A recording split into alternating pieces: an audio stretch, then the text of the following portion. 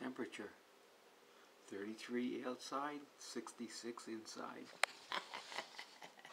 I like numbers, man.